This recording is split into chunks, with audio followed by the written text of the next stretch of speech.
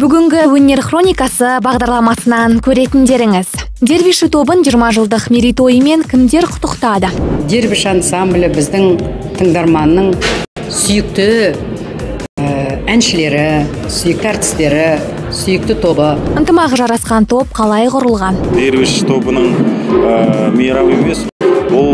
Бүкіл ә, қазақстанда жасап жатқан халықтың ә, тойы. Өнер ээлеринин аягынан шалмак болгондар кимдер топтардын өмүршең болмауына эмне себеп? Еркелейміз ба? Жаңағы сөз көтере алмаймыз. Отандык шоу бизнестин төрүнөн орун алган топтар. Толугураак бирер секундтан соң. Бүгүн казак сахнасында жүрген дервиши тобу үчүн айтуулуу күн себеби үч миң көрөрмендер жиналатын республика сарайында жыйырма жылдык мерейтой өтүүдө аты аталган топты менен куттуктоо үчүн арнайы биз да келдик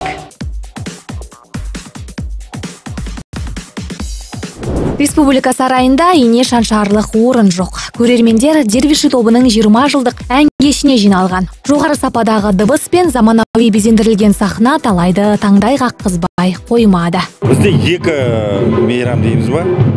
Ол біріншісі енді біздің жиырма жылдық юбилейіміз. Содан кейін сол жиырма жылда біздікі жаңа альбом шығып жатыр. Жаңа альбом аты это красиво ол альбом екі жылдың ішінде жазып жұмыс істеп міне осы концертке үлгертіп шықты құдайға шүкір.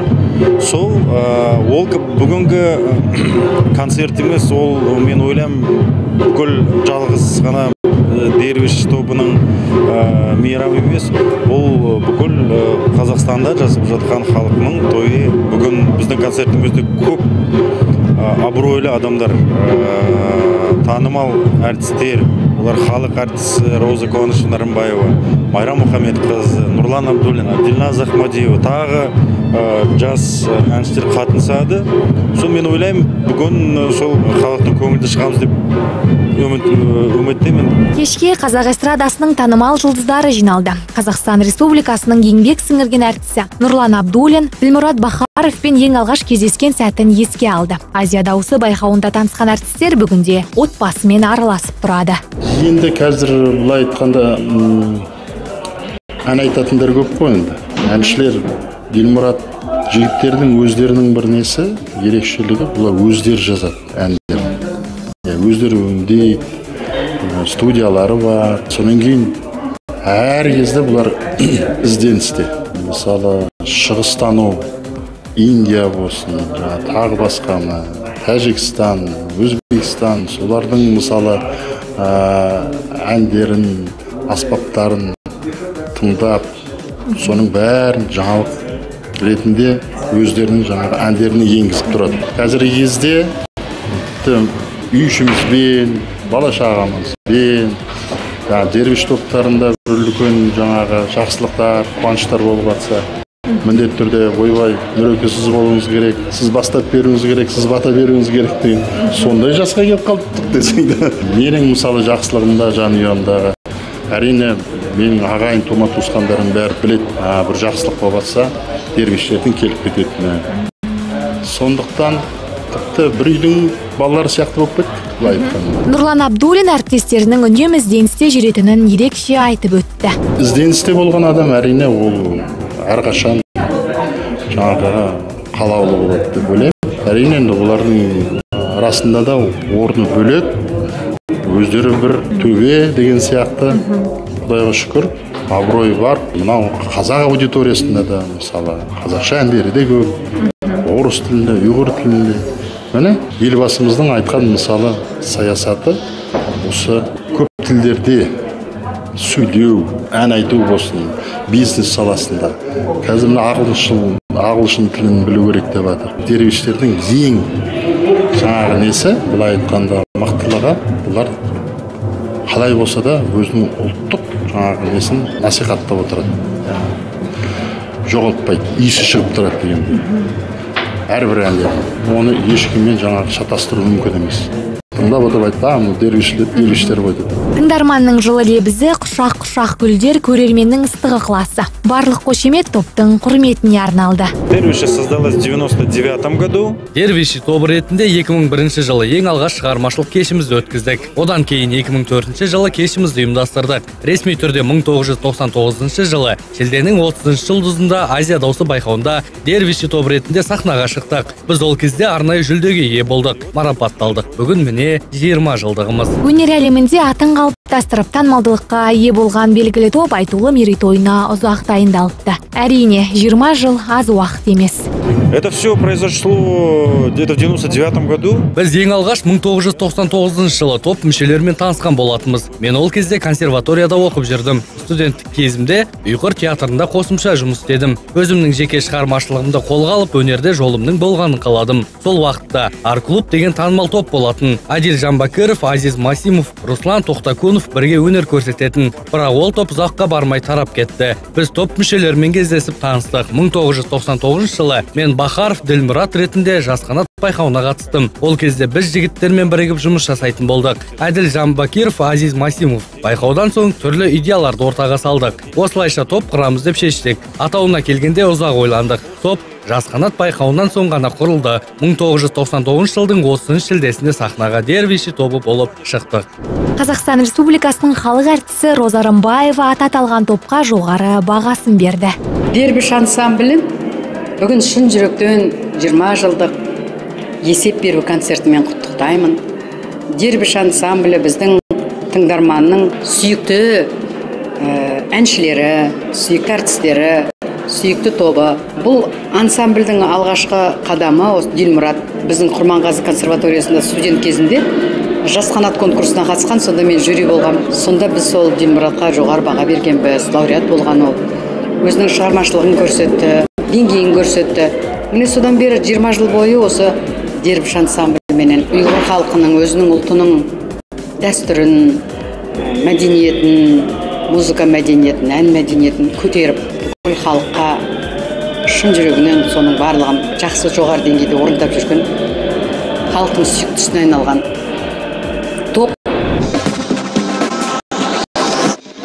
Ал ринго тобының әншісі әділжан умаров болса бала кезден дервиши тобын тыңдап өскен екен. Мерейтойлық кеште ән шырқау үшін ұсыныс түскенде қуанғанын жасыра алмады. Сегодня юбилейный 20-летний концерт. бүгін дервиши тобына 20 жыл толды. 1999 жылы олар ең алғаш топ ретінде құрылғанда мен 7 сыныпта оқып жүрген едім. Бүгін мен үшін үлкен мәртебе. Танымал топпен бір сахнада өнер көрсету бақыт емес пе? 9 сыныпта оқып жүрген кезде ясмин әні хит әндердің бірі болатын. Әлі есімде барлығы сол әнді сүйіп тыңдайтын. Мен ол кезде болашақта танымал әртістердің 20 жылдық мерейтойында бірге ән айтамын деп ойлаған жоқпын. Осы кеш мен үшін ерекше болмақ. Себебі бала кезден тыңдаудан жалықпайтын әнді орындаймын. Кеше арнайы интернеттен қосымша ақпараттарды қарап көрдім. Ясмин әні ең алғаш 2001 жылы жазылған екен. Бірінші ән жинаққа енген. Тез әрі жеңіл әсем ән. Көрермендер біз сол әнді орындағанда билейді деп ойлаймын. Өнер сүйер қауым танымал топтың әнін тыңдап сахнаның алдына шығып билеп те алды.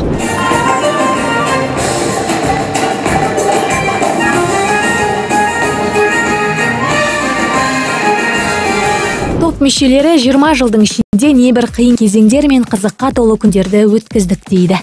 Это, во-первых, наша работа, да, и потом 20 жылдың ішінде түрлі кезеңдерді басымыздан өткердік. Кез келген әртістің басынан қиын сәттер өтті деп ойлаймын. Себебі қызығы мен қиындығы қатар жүретін өнерде аяқтан шалу жиі кездеседі. Араға от салатын арам пиғылды адамдар да бар. Барлығы көре алмаушылықтың салдарынан. Ұжымның достығы берік болса барлығын жеңуге болады. Ауызбіршіліктің арқасында топтың танымалдылығы артып жасай бермек. Ризамын тыңдармандарымызға алғыс білдіремін.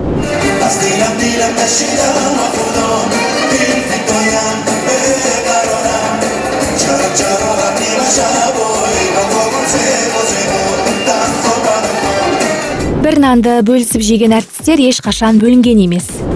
Нужно наверное любить. Жұмысыңды өнер әлемін шынайы жақсы көруің керек деп ойлаймын. Өзіңе ұнаған кәсібіңмен шұғылдансаң өнер жолында ізденсең ерінбей еңбектенсең халық оны бағалайды. Тыңдармандар сапалы дүниені күтеді ғой. Сол үшін өнерге бір үлесіңді қосу үшін жұмыс істесең топтың ғұмыры ұзақ болады бір жыл немесе бес алты жылдан кейін тарап кетпейді. Ол қырық елу жыл топ мүшелерімен бірге жасай бермек. Халықтың махаббатынан асқан бақыт жоқ. Ол бәрінен қымбат. Егер сені халық қабылдаса сенің әндеріңді жаттап тыңдаса өнер ұжымы да жан жаққа тарап кетпейді. Біз сол үшін еңбек етіп келеміз. Біздің ұжымда барлығы кәсіби музыканттар. Не керек екенін жақсы біледі. Біз үнемі бір бірімізге көмектесіп жол беріп жүреміз. Әрқайсымыз жауапкершілікпен өз жұмысымызды жақсы білеміз. Бір бірімізге ешқашан кедергі жасаған емеспіз топ жетекшісі ретінде менің міндетім ол топ мүшелерінің барлық жағдайын жасау. Ұжымның татулығы мен танымалдылығының құпиясы неде? Оны өнер иелерінен сұрауды жөн санадық. Құпиясы бірлікте қойған мақсаттары музыка жасау өз ұлтының өз халқының музыкасын жасау кәсіби жұмыс істеу. Сол кәсіби жұмысының нәтижесін көру мақсаттары. Сондықтан бір біріне сондай жақсы түсініп бір бірін толықтыратын ә, коллектив қана сол бір жүреді. Енді бұлардың үлкен ағалары бар мысалы яшылық тобы бар олар да қаншама жыл. Досмұқасан ансамблі бар. Енді бұлар да осындай ұзақ сахнада тек қана жоғары деңгейде өздерінің өнерін халқына көрсетіп халқымыздың мәдениетін көтеріп еңбек ете берсін. Шын жүректен құттықтаймын. Бұның құпиясы әрине мынау ауызбіршілікте. Меніңше әрине ол топ дегенде әрбір топтың жаңағы үш төрт азамат болса әрбіреуінің жаңа мінезі бар. Жалпы бір бірімен тіл табысу. Оның үстіне мына мысалы дилмұрат жаңағы мынау райымжан сияқты жігіттер. Өздері мысалы сондай тәрбие көрген жерден шыққан азамат. Меніңше сол ең бастысы. Қалай айтсам жауапкершілігі. Ай ой мынау бар еді жоқ болып кетті деген әңгіме оларға мысалы ұят. Киелі қара шаңырақ республика сарайында дос мұқасан мұзарт үркер тобы ескендір хасанғалиев мақпал жүнісова роза рымбаева алтынбек қоразбаев нұрлан абдуллин сынды танымал өнер майталмандарының мерейтойы өткен.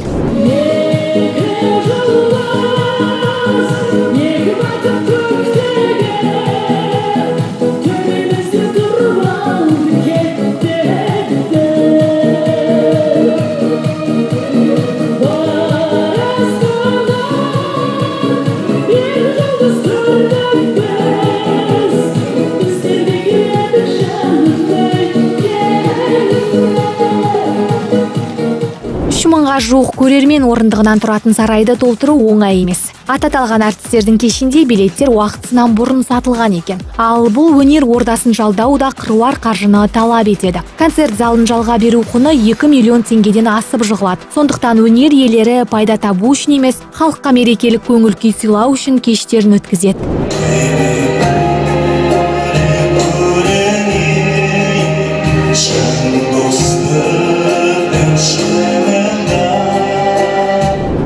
От тебя ждут что-то новое, то, естественно, ты что-то должен дать.